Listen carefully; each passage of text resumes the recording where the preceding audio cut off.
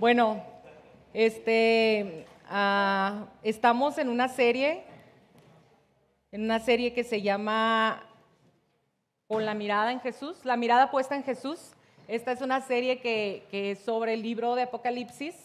Eh, y bueno, veíamos eh, la semana pasada que Apocalipsis eh, significa revelado. ¿sí? Bueno, veíamos hace como dos o tres semanas, Carlos nos compartía revelado. Entonces, Apocalipsis, Apocalipsis es un libro que nos invita a ver más allá de la cortina, o sea, ver más allá de lo evidente. Es donde Dios se quiere revelar, eh, Dios quiere revelar sus planes divinos y sus planes eternos para nosotros, eh, las personas, ¿no? Para nosotros, sus hijos aquí en la tierra. Entonces es un libro que nos, que nos abre la perspectiva divina del mundo y de y cómo somos nosotros parte de los planes de Dios en, eh, de manera eterna, de manera divina, aún aquí en la tierra. Y esta serie, la serie de La mirada puesta en Jesús, eh, tiene el propósito de capturar nuestros corazones de regreso a Jesús, de transformarlos y de que podamos ver y percibir lo que Dios está haciendo aquí en la tierra, aún en medio de todo lo que estamos ah, pasando, ¿no? Es una serie que pretende abrir nuestra mirada a los propósitos de Dios para nosotros, los propósitos eternos, los propósitos divinos, ¿sí? Entonces es una serie que nos quiere, que busca abrirnos eh, los ojos para verlo a Él y ver que Él, de hecho, en medio de todo lo que estamos, Él está trabajando y que su reino se está extendiendo y que su reino está avanzando. ¿Lo ves? ¿Sí? Bueno, si no lo ves, pues para eso es esta serie. para que lo veas, para que si no has visto, no has podido tener esta visión eh, divina y eterna, que Dios te la dé. Esa es nuestra oración en este tiempo y ese es el propósito de esta serie. Que si lo veías antes y has dejado de ver, puedas empezar a ver otra vez a Dios. Entonces, bueno,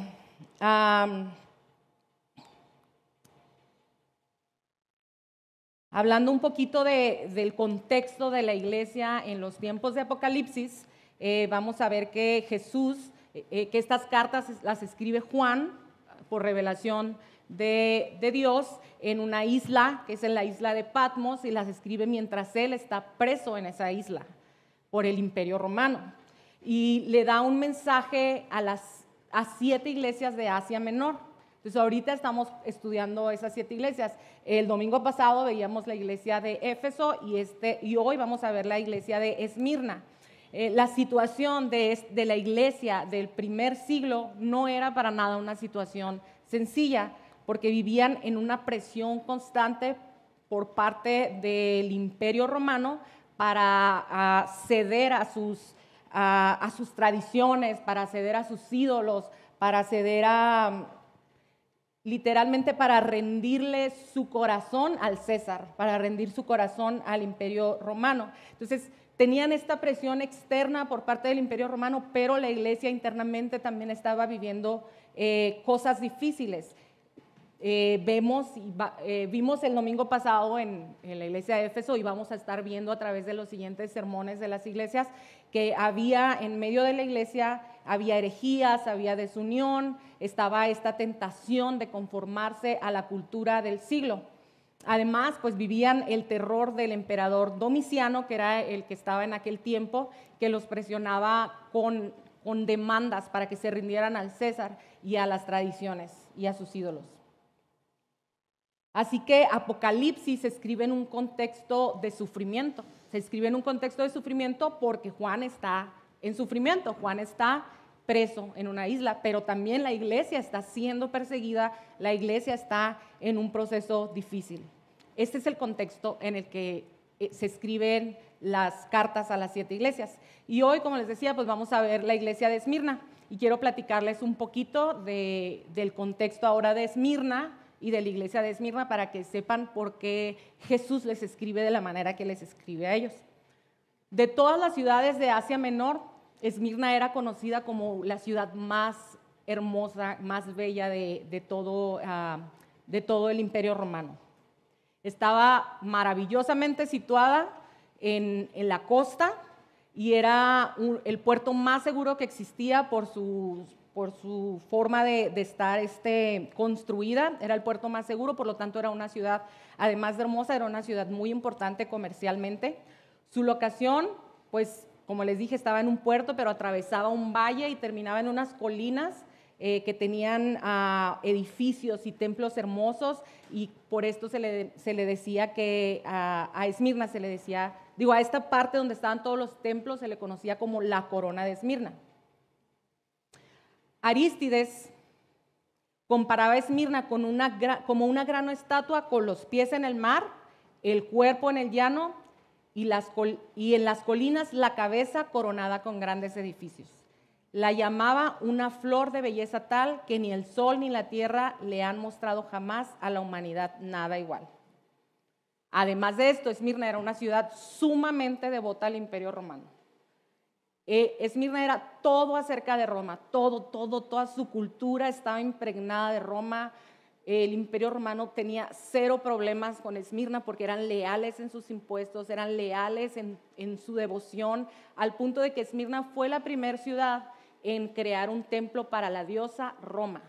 También, años después de esto, también hacen un templo para el César y también fueron anfitriones de los, de los famosísimos Juegos eh, Deportivos Olímpicos, ¿no?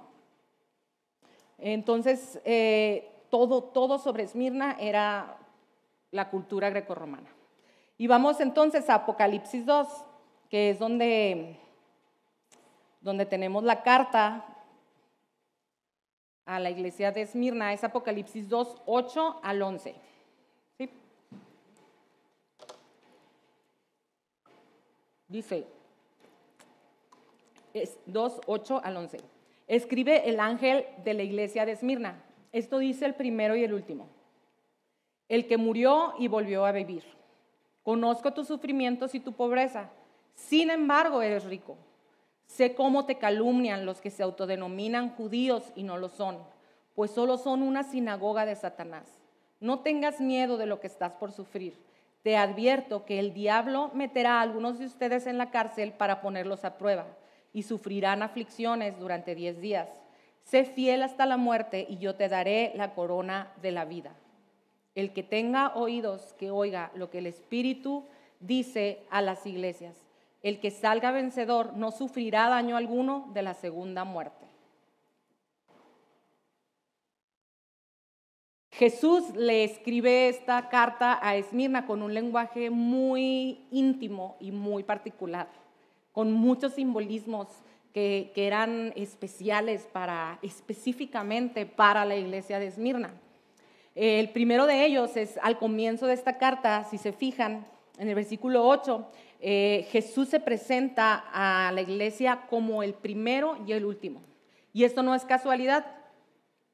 Jesús se está presentando como posterior y anterior y posterior al imperio romano. Jesús se está presentando como más grande que este imperio, de tal manera que ellos sepan que en comparación a toda, que en comparación a la gloria de Cristo, todas las distinciones que Esmirna tenía, la corona de Asia, eh, leales al imperio romano, el puerto más seguro, todas estas distinciones, Jesús era mayor que todo eso. Era, era anterior y era posterior. La segunda ah, característica o adjetivo con el que se presenta Jesús a la iglesia es que él, el que murió y volvió a vivir.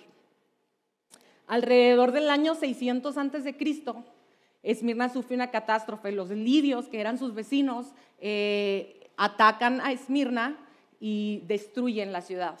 Después de esto, después de esto 400 eh, años después, Esmirna es reconstruida y es ahí cuando la construyen tan bien planificada que es conocida como la ciudad más bella de, Asia Menor. Y se le conocía a Esmirna como la ciudad que, que resurgió de la muerte a la vida.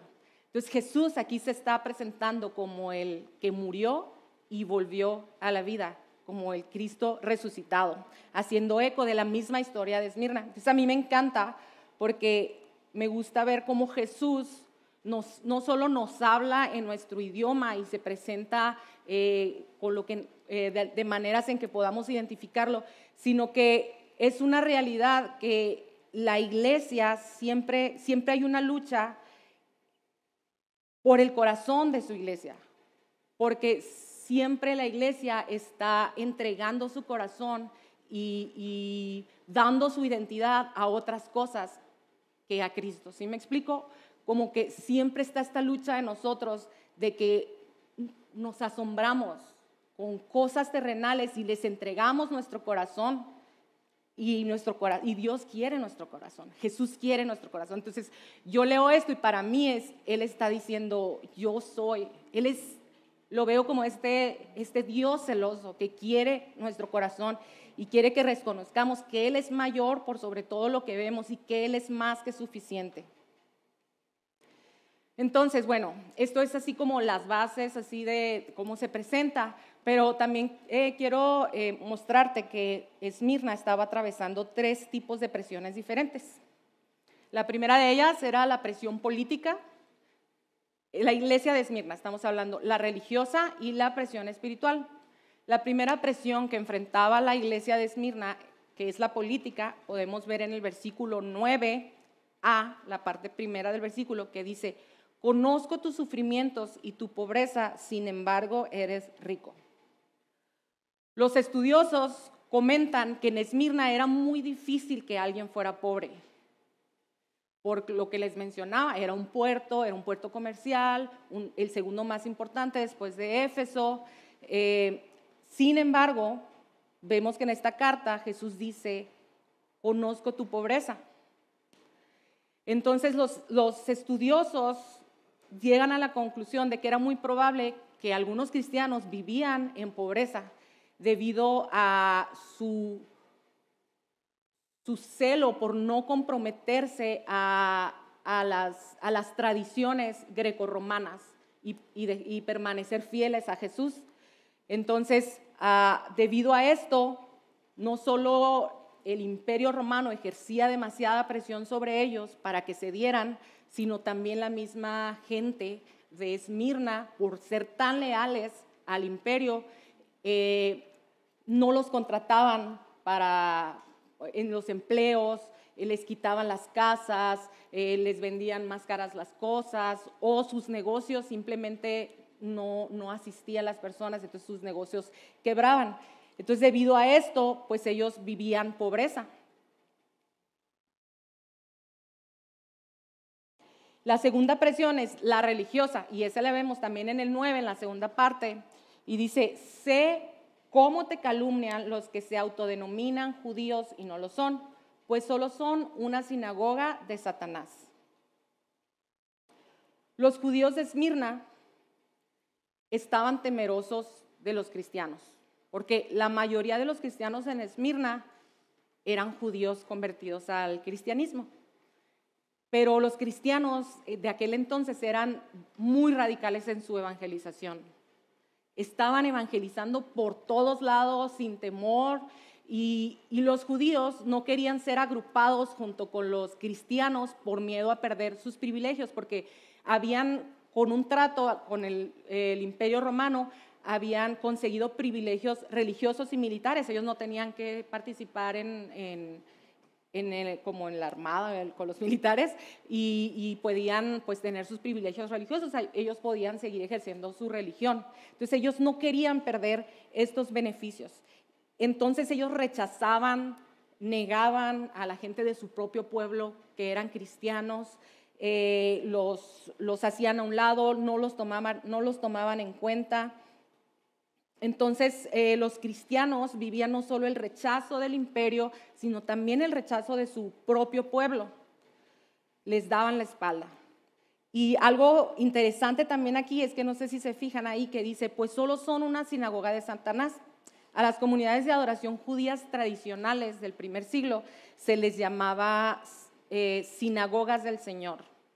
Pero aquí Jesús les está diciendo que son sinagogas de Satanás. Y finalmente, la presión espiritual. Y esta la vemos en el versículo 10 que dice, no tengas miedo de lo que está por sufrir. Te advierto que el diablo meterá a algunos de ustedes en la cárcel para ponerlos a prueba y sufrirán aflicciones durante diez días. Sé fiel hasta la muerte y yo te daré la corona de la vida. La palabra sufrimiento que está utilizando Juan en esta carta es la, palabra tlipsis en griego. Eh, y esta palabra se traduce mejor como presión. Y esta palabra presión en el primer siglo se relacionaba con la imagen de una tortura que se ejercía aquel entonces con una piedra enorme que se le ponía encima a una persona para que la fuera aplastando poco a poco, la fuera presionando hasta el punto de la muerte.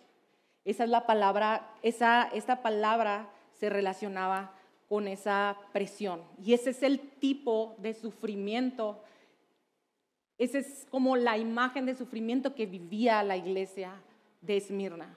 Una presión constante que te está empujando hacia abajo al punto de la muerte y luego dice, sé fiel hasta la muerte, le dice en esta misma carta. Si tú, si tú eres fiel hasta la muerte, entonces tendrás la corona de vida. Este es el tipo de presión que los que han de verdad entregado su vida a Jesús tienen, aún hoy en día. Entonces, estas cartas, si bien era muy íntima para esta iglesia, hoy también nos habla a nosotros, porque nosotros también estamos bajo presiones, presiones social, presión cultural, presión espiritual, presión religiosa, eh, a lo mejor no nos prohíben eh, la libertad de culto y de adorar, pero sí hay una presión por, por ceder a, la religiosidad y no vivir realmente en lo que Dios nos está llamando a vivir.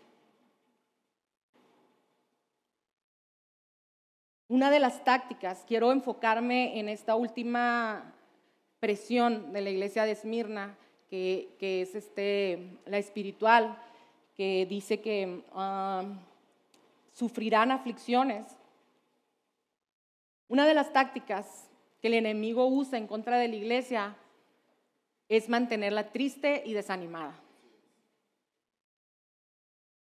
Pero hoy vemos que Dios está resucitando y levantando una iglesia gozosa y perseverante, que sufre la presión, sí sufre la presión, pero no se doblega ante ella, no cede y que tiene la capacidad de ver más allá de lo natural, que no se queda solo con lo que sus ojos terrenales ven, sino que puede ver este plan divino de Dios, este plan eterno que tiene con nosotros y persevera. Dios está haciendo eso, Dios está revelando, porque Dios quiere una iglesia completa, Dios quiere una iglesia limpia, Dios está preparando a su novia, dicen las escrituras. Y es algo que, yo alcanzo a ver no solo, o sea, como iglesia local, ¿saben? Sino veo, veo que Dios está, está mm, levantando la mirada de la iglesia otra vez. El problema del sufrimiento y del desánimo es que si tú estás cansado y triste, si tú estás desanimado, tu corazón se ve comprometido. Tu corazón está a medias con Dios y Dios busca corazones completos. Estoy convencida que lo que Dios está haciendo hoy, no solo en Jardín, sino en la iglesia global, es preparar nuestros corazones.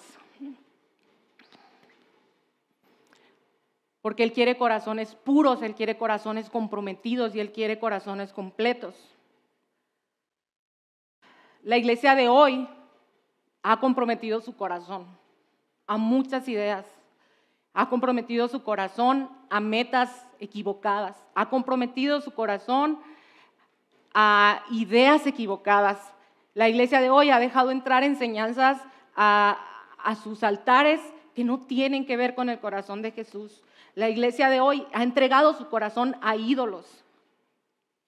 Y Dios está llamando a su iglesia de vuelta. Dios nos está diciendo, quiero de regreso el corazón. De nuevo, este es un llamado para Iglesia Jardín, pero es un llamado para la Iglesia Global también.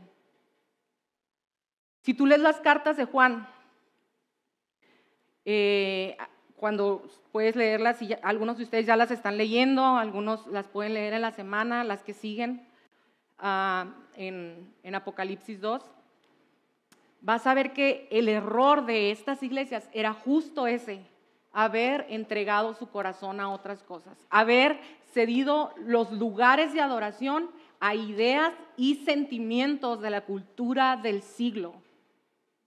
¿Reconoces cuál es el sentimiento de la cultura hoy? Tristeza, ansiedad, depresión,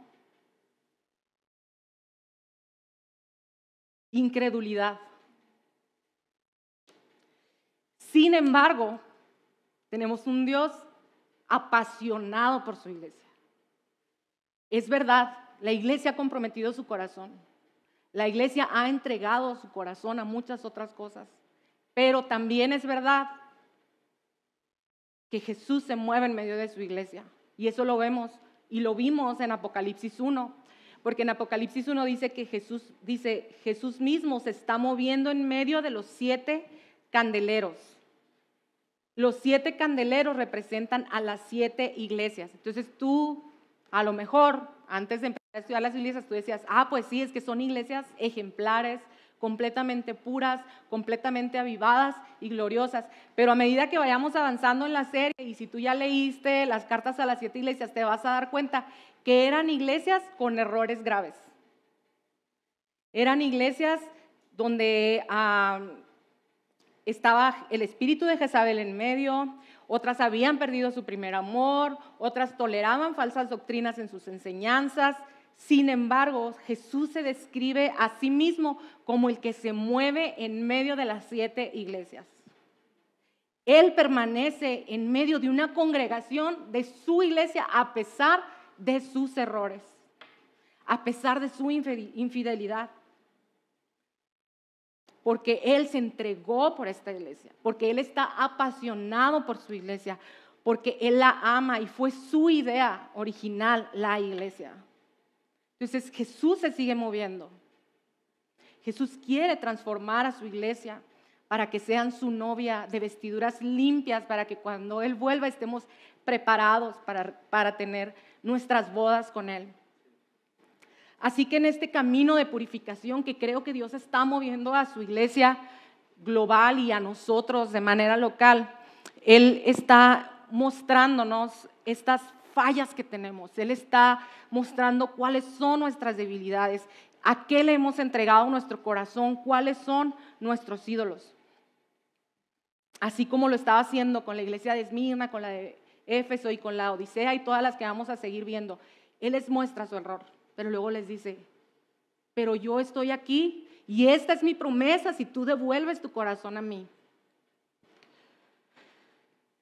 Así es que la iglesia hoy está en un periodo de sembrar, está en un periodo de trabajar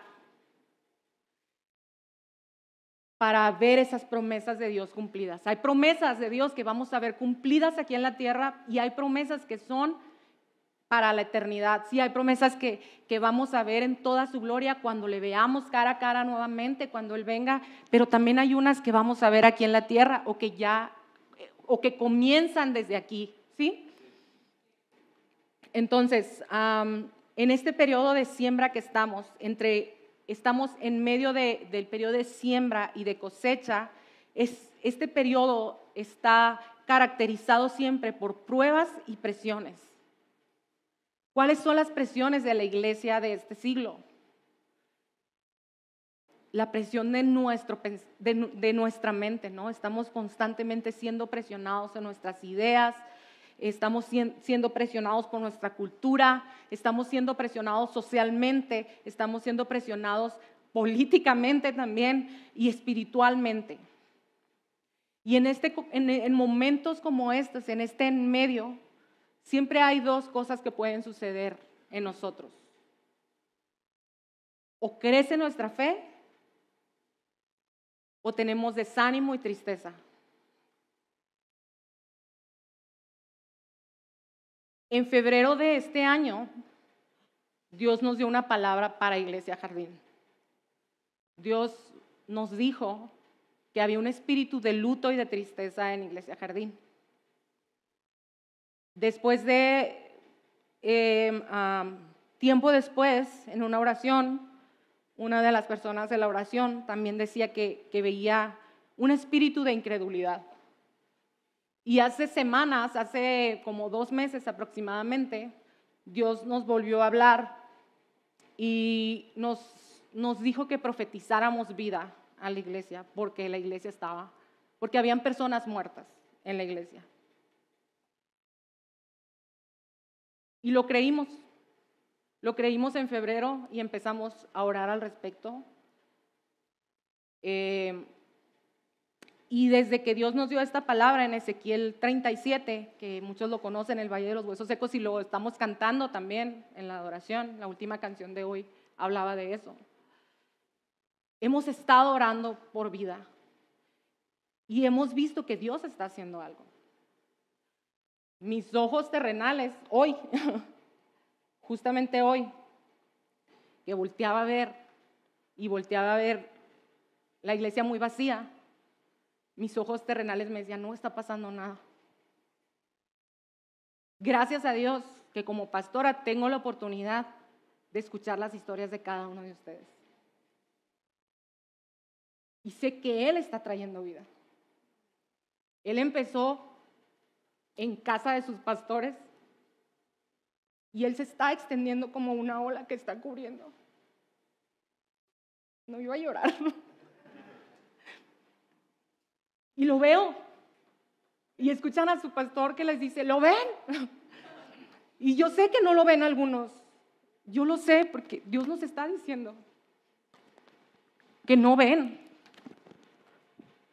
No es un reclamo ni, ni, un juicio, sino sabemos lo que está pasando, ¿sí? Dios nos está revelando la condición, pero Dios quiere abrirte la visión, ¿sí? Ay, esta cosa. Dios quiere, es que mi cabello, Dios quiere que lo veas. Dios está revelando. Dios está revelando a unos como su padre, porque necesitan conocerlo como padre, porque ya lo conocieron como el amigo, como el consejero, como pero hoy necesitas ver a Dios como tu Padre. Dios está revelando como el amigo, Dios está revelando como el consejero, pero sobre todo, Dios está revelando su gloria. Como el Rey de Reyes, el Señor de Señores, el que debe tener nuestro corazón. ¿Qué es lo que sucede con una iglesia que ha cedido ante las presiones? Que pelean por su corazón. Bueno, te voy a mostrar una historia en las escrituras eh, que, nos muestra qué es lo que sucede cuando un corazón eh, ha sido comprometido. Y nos vamos a ir para esto a Lucas 22. ¿Recuerdan esta parte cuando Jesús se va con sus discípulos a orar al Getsemaní antes de ser arrestado? ¿Sí se acuerdan que le dice, si es posible, pasa de mí esta copa? Bueno, Vámonos para allá. Lucas 22, 40.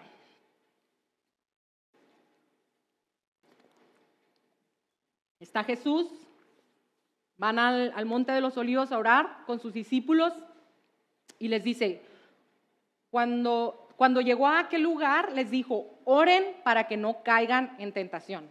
¿Sí? Se queda, deja a sus discípulos con esta instrucción, se separa él a orar en privado y está él en un momento tan difícil, está en un momento de tanta presión espiritual, pero también social, pero también política, porque está a punto, él sabe que está a punto de ser apresado, él sabe que están tras de él tanto los, eh, los judíos como los romanos. Es tanta la presión, imagínense la roca ¿no? que él está viviendo, es tanta la aflicción y el sufrimiento que dice las escrituras que le dice al Padre, si es posible que pase de mí esta copa, ¿me quitas este?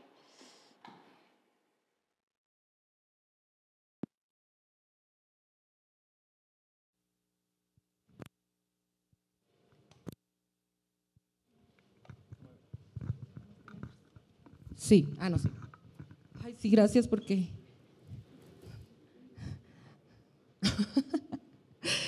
Dice, si es posible que pase de mí esta copa.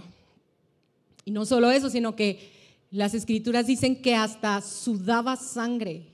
Imagínense la presión. Bueno, él está orando, termina de orar, vuelve a sus discípulos y ¿cómo creen que los encontró? Dormidos. ¿Por qué dormían en un momento tan crítico? ¿Cómo es posible que estaban dormidos?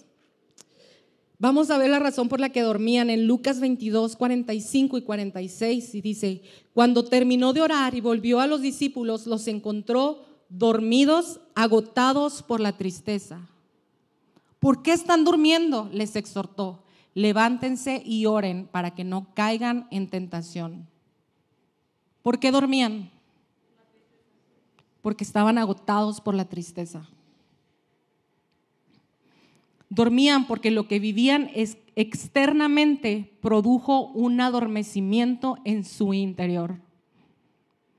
Mientras Jesús les estaba diciendo esto,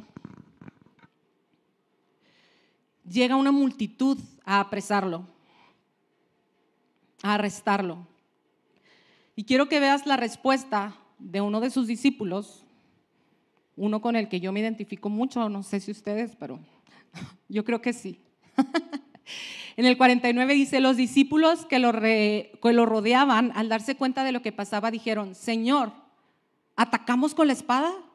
Y uno de ellos hirió al siervo del sumo sacerdote, cortándole la oreja derecha. Déjenlos, les ordenó Jesús. Entonces tocó la oreja del hombre y lo sanó.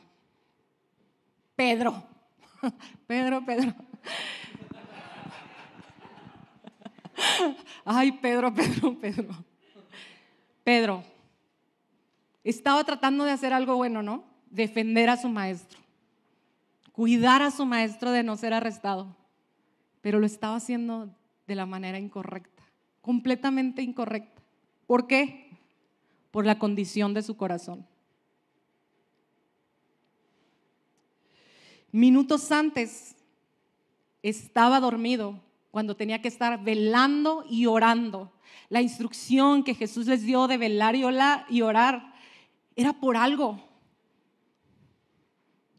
Era porque eran momentos de aflicción, era porque tenía que estar pegados a su corazón. Pero ahí estaba él, bajo su propio entendimiento, bajo su propia sabiduría y bajo sus propias fuerzas, tratando de hacer algo para Dios, para Jesús tratando de ser leal a Jesús. Después de esto, después de mostrar tanta valentía y tanta fuerza a favor de su maestro y tanta lealtad a su maestro al punto de casi matar a alguien, lo vemos negándolo tres veces, esa misma, esa misma noche. Cuánta incongruencia, ¿no? Cuánta fluctuación en sus emociones, en su estado de ánimo, en sus reacciones, ¿Cuánta incongruencia? Esa es la definición de perder el corazón. Esa es la definición de ceder el corazón. Y todo empezó porque se llenaron de tristeza. Esa tristeza los llevó a dormir cuando debían permanecer despiertos y comprometieron sus corazones. Debemos ser muy cuidadosos de no entregar nuestros corazones a la tristeza que produce adormecimiento. Quiero que pienses en este momento alguna situación, alguna aflicción que pasaste y pasaste lejos de Jesús esa aflicción, la trataste de resolver a tu manera con herramientas externas a Jesús, sin pasar tiempo con Jesús, bajo tus propias fuerzas, ¿qué te dejó?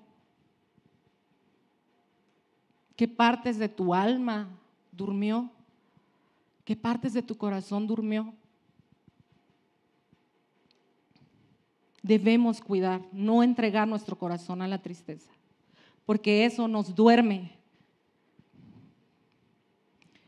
¿De qué está marcada hoy tu adoración?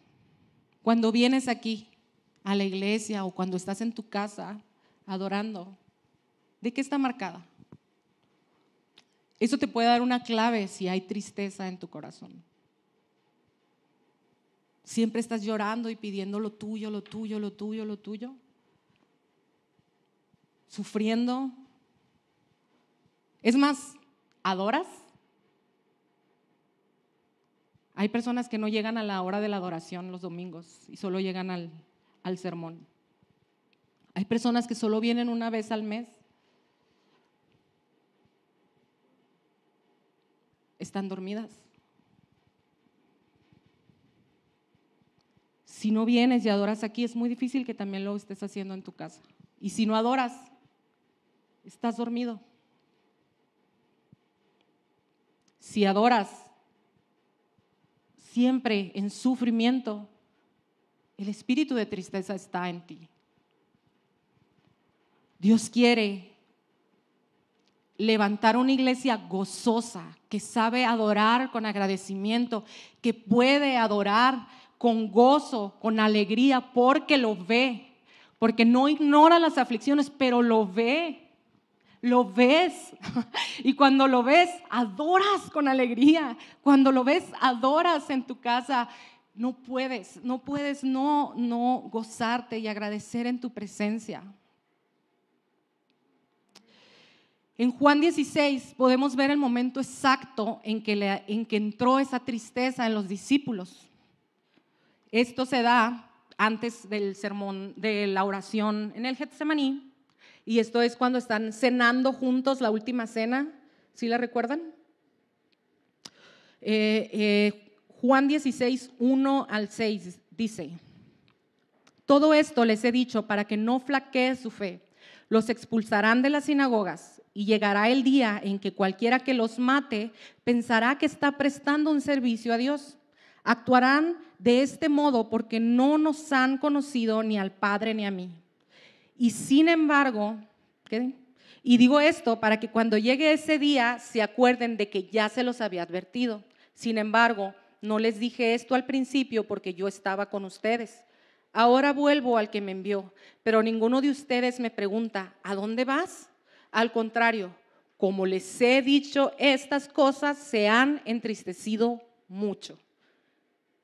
Ahí entró la tristeza, en un momento en el que Dios les estaba compartiendo sus planes divinos, pero ellos no estaban entendiendo lo que Jesús estaba diciendo. Ellos tenían una expectativa de lo que querían que pasara, de lo que ellos estaban seguros que pasaría, de cómo sucederían las cosas. Pero aquí Jesús les estaba diciendo que pasaría algo diferente y que no iba a ser como ellos querían o como ellos estaban imaginando, iba a ser de otra forma. Al tener una expectativa diferente al plan de Dios, su corazón se entristeció mucho. Y esa tristeza fue la que los llevó a dormir cuando tenían que permanecer velando y orando.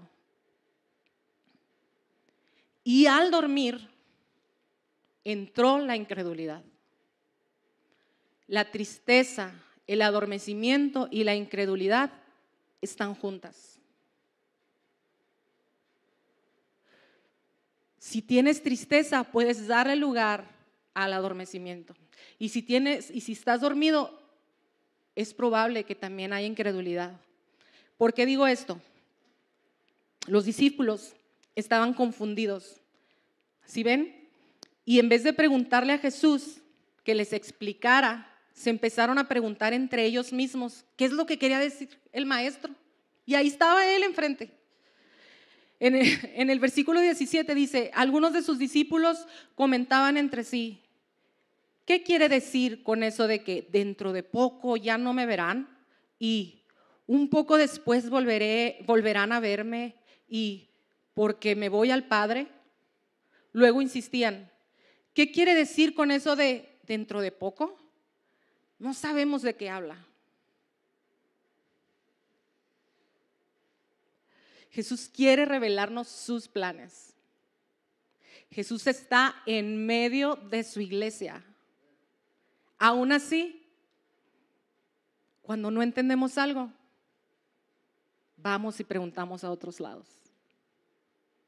Le preguntamos a la ciencia, le preguntamos al podcast, le preguntamos a las noticias, le preguntamos al marido o a la esposa, a la amiga que está llena de resentimiento, pero no vamos a Jesús y nos confunden más y entra la incredulidad. ¿Por qué?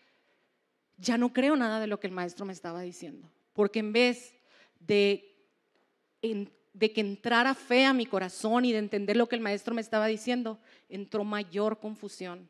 Y entonces nada de lo que él dijo tiene sentido y lo dejo de creer. Jesús quiere revelarnos sus planes. Sabes cuando has cedido a la tristeza porque le preguntas a todos a tu alrededor menos a Jesús. Sabes cuando has cedido a la incredulidad, cuando escuchas todas las otras voces más que al mismo Jesús. Cuando te deslumbras por la belleza de Esmirna y por el poderío de Roma y no por Cristo mismo. No nos gusta lo que Jesús tiene que decirnos porque no es lo que queríamos que dijera. No reconocemos cuando Jesús está hablando a su iglesia porque no tiene nuestro corazón. No aceptamos cuando Jesús nos está hablando a través de nuestros líderes o pastores porque ya no reconocemos la voz de Jesús. Ya no sabemos cómo suena. No conocemos las escrituras. Solamente sabemos que no nos gustó lo que escuchamos. Pero si vamos a Jesús, vamos a saber lo que Él quiere porque sabes que Él se quiere revelar a ti. A ti, no, no Él está buscando revelarse solamente a los pastores, no, Él quiere revelarse a ti, Él se quiere mostrar y Él quiere tu corazón. Él está peleando por tu corazón constantemente. Él no quiere tu servicio en la iglesia, Él no te quiere sirviendo tres veces al mes en la iglesia. Él no quiere tus dones, Él no quiere tu generosidad, tu dinero, Él no quiere tu performance, Él, él quiere tu corazón. Él quiere tu corazón. Por eso esta presión, hay una, por eso yo digo que sí hay una presión religiosa en la iglesia, porque ¿sabes cuál es la presión de los que nacimos en la iglesia? La religiosidad. Creemos que haciendo todo el checklist de todo lo que tenemos que hacer en la iglesia es que Dios tenga nuestro corazón, pero nuestros corazones están lejos de Él. Y lo veíamos la semana pasada con Efesios.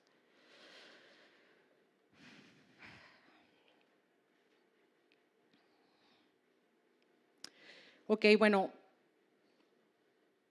lo que Jesús quiere es que esperemos gozosos en sus promesas, en ese intermedio de la siembra y la cosecha, en ese intermedio de me dio la promesa y la veo, la arrebato, la vivo. Entonces, a los discípulos también les dio una promesa y esa la vemos en Juan 16, 22. Dice, lo mismo les pasa a ustedes, ahora están tristes, es en la misma cena, pero cuando vuelvan, vuelva a verlos, se alegrarán y nadie les va a quitar esa alegría. Nadie les va a quitar esa alegría, se alegrarán. Hoy están tristes, les dice. Él sabía cómo estaba su corazón. A Esmirna le dice, te daré la corona de vida. A los discípulos les dice, les daré una alegría que nadie les quitará. Él es fiel, él cumple sus promesas. Es cierto que hay tristezas, es cierto que hay decepciones, es cierto que vivimos traición, es cierto que nos lastiman, es, es cierto que hay aflicciones. Es verdad que mientras sigamos en la tierra seguiremos enfrentando las, las presiones de las fuerzas de este mundo, pero Él ha vencido al mundo, ya venció al mundo. Él venció la muerte. Él mismo es nuestra promesa. Él es nuestra promesa, no los beneficios, Él es nuestra promesa. No temas, conócelo. Abre tus ojos, búscalo, entrégale, busca entregarle de nuevo tu corazón, porque cuando lo ves a Él, recibes todo lo que necesitas para vivir cada cosa que te toca vivir en la tierra. Él se está revelando. Segunda de Corintios 4, 16 al 18 dice, por tanto, no nos desanimamos, al contrario, aunque por fuera nos vamos desgastando, por dentro nos vamos renovando día tras día, pues los sufrimientos ligeros y efímeros que ahora padecemos producen una, una gloria eterna que vale muchísimo más que todo el sufrimiento. Así que no nos fijamos en lo visible, sino en lo invisible, ya que lo que se ve es pasajero, mientras que lo que no se ve es eterno. Pídele a Dios que abra tus ojos para que lo veas y veas sus planes eternos para tu vida.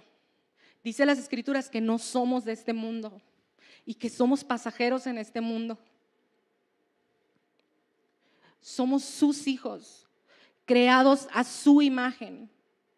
Y los sufrimientos que vivimos hoy sí son momentáneos, parecen eternos, pero son momentáneos. Y no es hasta que veas a Jesús que vas a poder entender esto.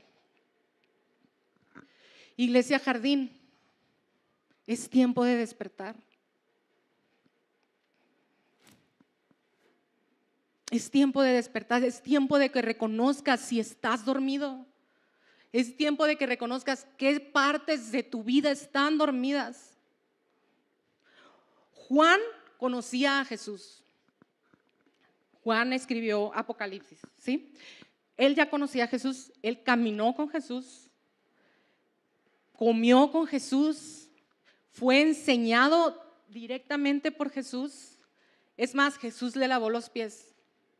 Pero en, revelaciones, en, en Apocalipsis, ¿sabes qué vemos? Que Jesús se le está presentando de una forma que él no lo conocía. Jesús le está presentando su gloria. Siempre hay algo más que conocer de Jesús. Él es más que nuestro proveedor. Él es más que, que nuestro consejero. Él es la gloria. Él es la promesa. ¿Y sabes qué? ¿Sabes en dónde se le está presentando a Jesús toda su gloria? ¿Recuerdas cuál era la condición de Juan? Estaba preso. Estaba preso. Y ahí, en medio de la prisión, Jesús estaba revelando su gloria y sus planes para su pueblo. Muchos aquí de ustedes tienen tristeza.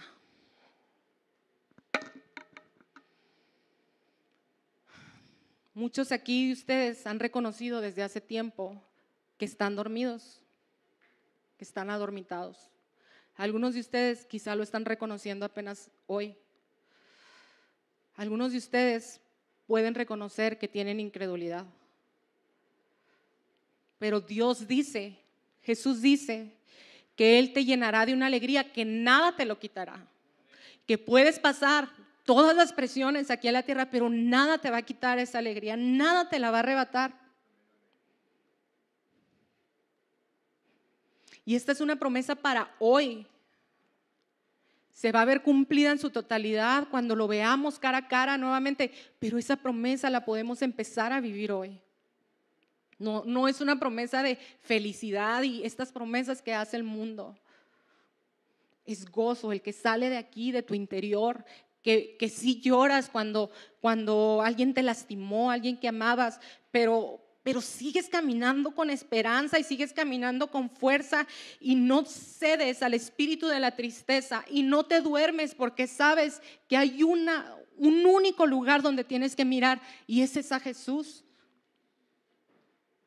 Esa es la alegría.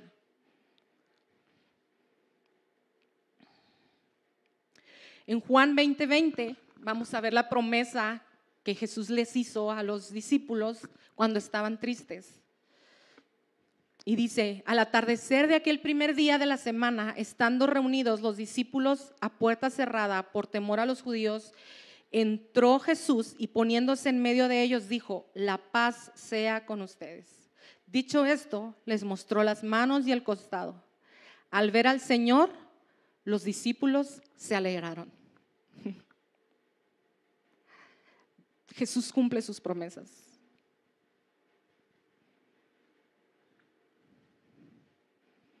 Cuando me vean otra vez, se regocijarán. Dios quiere que lo veas otra vez. Jesús quiere que lo veas por primera vez. Jesús quiere que lo vuelvas a ver.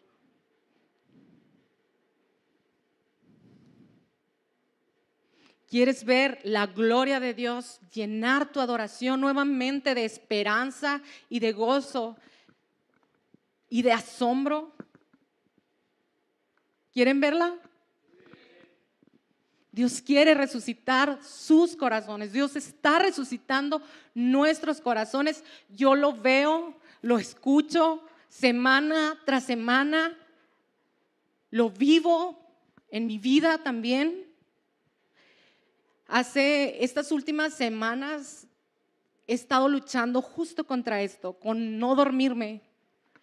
Porque cuando están pasando cosas, al menos esta es mi situación y yo creo que es la de la mayoría de nosotros, cuando estamos pasando por algún dolor, cuando estamos pasando por situaciones difíciles, no, no vemos lo que queremos ver o, o no tenemos las respuestas que quisiéramos tener la tentación es dormirnos. La tentación es dormirnos. ¿Y cómo nos dormimos? Pues nos vamos a, las redes sociales, nos vamos a una serie, buscamos algo que nos duerma, que, nos, que no nos haga pensar en, que no nos... Eso es dormir.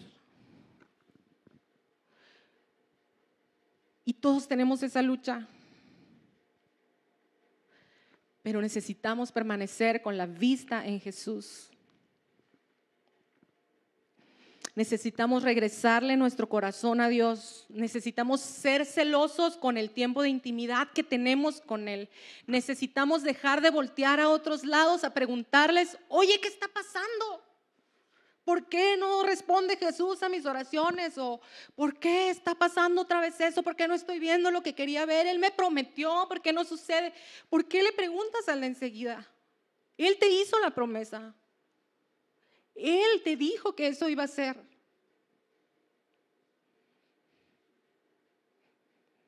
Desahógate con Él. Desármate en Él. Mantén un corazón humilde. Permite que Él quiebre toda la dureza de tu corazón. Reconoce tus debilidades, no las ocultes porque Él las conoce y Él las quiere restaurar. Cuando Él te muestra una debilidad, cuando Él te muestra tu pecado, cuando Él te muestra tu error, lo hace por amor, lo hace porque quiere derramar su gracia en todo lo que tú eres. No lo hace para poner juicio sobre ti porque el que está sentado en el trono del juicio, el que el juez de tu vida es la persona que más te ama en el mundo el que, el que tiene la autoridad para poner juicio sobre tu vida, te ama apasionadamente.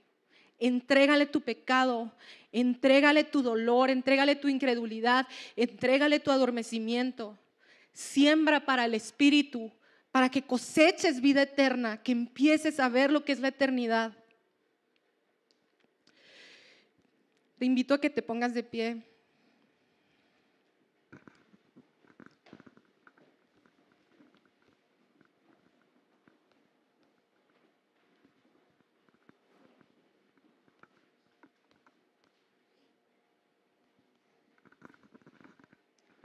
El último versículo de la carta a Esmirna dice lo siguiente en la versión de The Message. ¿Están despiertos tus oídos? Escucha, escucha las palabras del viento.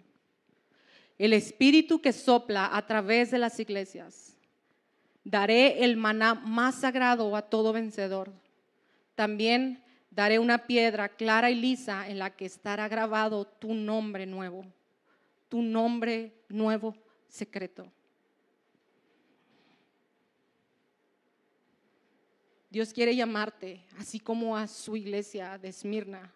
Le dio un nombre especial, íntimo, que hacía todo el sentido de que era su Dios, uno que la conocía perfectamente, el que le estaba escribiendo esta carta. Dios quiere llamarte hoy. Cierra tus ojos. Creo que Dios quiere decirte un nombre que solo tú sabes. que solo Él sabe que te puede dar.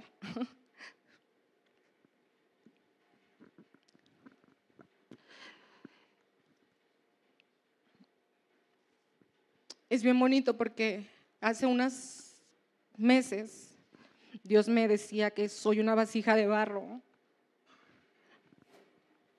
Me hizo tanto sentido a mi vida.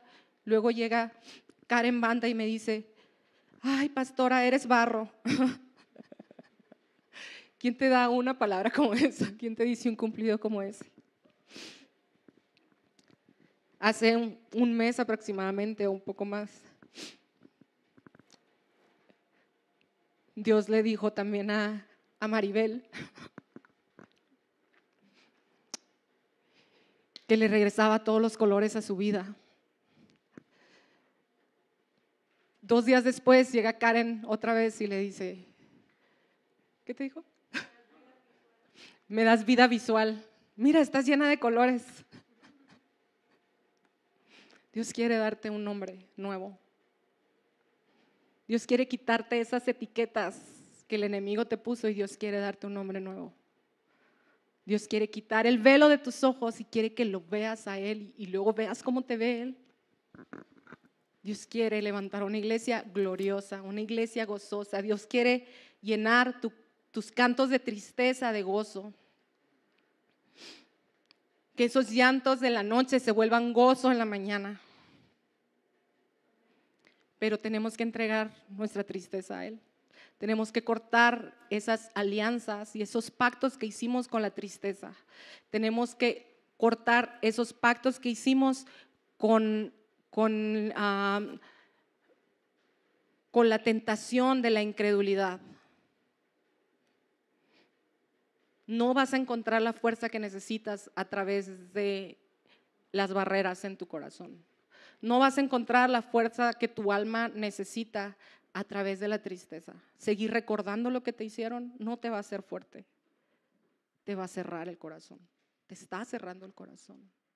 Te está alejando de Jesús ya no te permite ver lo que Él está haciendo.